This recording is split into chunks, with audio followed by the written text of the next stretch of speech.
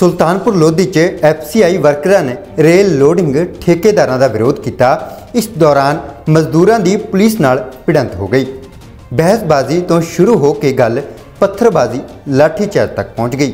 Police ਨੇ ਕਈ ਮਜ਼ਦੂਰ ਨੇਤਾਵਾਂ ਨੂੰ ਕਾਬੂ ਕੀਤਾ ਹੈ। ਐਫਸੀਆਈ ਵਰਕਰਾਂ ਦਾ ਕਹਿਣਾ ਹੈ ਕਿ ਰੋਕ ਦੇ ਬਾਵਜੂਦ ਵੀ ਲੋਡਿੰਗ ਦਾ ਠੇਕਾ ਪ੍ਰਾਈਵੇਟ ਲੇਬਰ ਨੂੰ ਦਿੱਤਾ ਜਾ ਰਿਹਾ ਹੈ। ਤੇ ਅਸੀਂ 2993 ਤੋਂ ਠੇਕੇਦਾਰੀ ਸਿਸਟਮ ਖਤਮ ਹੋਇਆ ਸੀ ਅਸੀਂ ਭਰ ਰਹੇ ਹਾਂ ਸਪੈਸ਼ਲਾਂ ਅੱਜ ਠੇਕੇਦਾਰੀ ਉੱਠ ਕੇ ਸਾਡੇ ਨਾਲ ਜ਼ਬਰਦਸਤੀ ਸਪੈਸ਼ਲ ਭਰਾ ਰਿਹਾ ਉਹ ਆਰਡਰ ਅ, ਅਸੀਂ ਵੀ ਹਾਈ ਕੋਰਟ ਦਾ ਸਾਡੇ ਕੋਲ ਸਟੇ ਆ ਉਹ ਡੀਸੀ ਦੇ ਆਰਡਰ ਨਾਲ ਭਰਾ ਰਿਹਾ ਆ ਉਧਰ ਇਸ ਮਾਮਲੇ ਸੰਬੰਧੀ ਵਿਭਾਗ ਦੇ ਅਧਿਕਾਰੀ ਨੇ ਕਿਹਾ ਕਿ ਹਾਈ ਕੋਰਟ ਦੇ ਹੁਕਮਾਂ ਤੋਂ ਬਾਅਦ ਹੀ ਲੋਡਿੰਗ ਦਾ ਕੰਮ ਠੇਕੇ ਤੇ ਦਿੱਤਾ ਗਿਆ ਹੈ, ਜਦਕਿ ਡੀਪੂ ਦਾ ਕੰਮ ਅਜੇ ਵੀ ਐਫਸੀਆਈ ਮੁਲਾਜ਼ਮਾਂ ਕੋਲ ਹੈ रेल हेड पे ऑपरेशंस के लिए ऊपर मुंबई हाई कोर्ट से आदेश आए हुए हैं कि जो भी बाहर का काम है, वो एफसीआई प्राइवेट से काम कराए।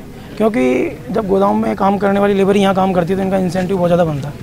और सैलरी इवन लाख से ऊपर पहुँच जाती है, जो कि किसी भी तरह से जायज़ नहीं है। इसीलिए अभी जो नए आदेश आए हैं नागपुर बेंच के, उसके अकॉर्डिंग प्राइवेट रेल एड पे सारे प्राइवेट कॉन्ट्रैक्टर अपॉइंट किए गए हैं। ज़िक्र योग है कि बीते कुछ दिन पहला भी बरनाला विखे एफसीआई वर्कर ਲੋਡਿੰਗ ਨੂੰ ਲੈ ਕੇ ਪੁਲਿਸ ਨਾਲ ਭਿੜ ਗਏ ਸਨ, ਜਿਸ ਵਿੱਚ ਕਈ ਪੁਲਿਸ ਅਧਿਕਾਰੀ ਅਤੇ ਮੁਲਾਜ਼ਮ ਜ਼ਖਮੀ ਵੀ ਹੋਏ ਸਨ। ਹੁਣ ਸੁਲਤਾਨਪੁਰ ਲੋਧੀ 'ਚ ਇੱਕ ਵਾਰ ਫਿਰ ਇਹਨਾਂ ਵਰਕਰਾਂ ਦੀ ਤਕਰਾਰ ਦਾ ਖਮਿਆਜ਼ਾ ਪੁਲਿਸ ਨੂੰ ਚੱਲਣਾ ਪਿਆ ਹੈ। Bureau report, Spokesman TV.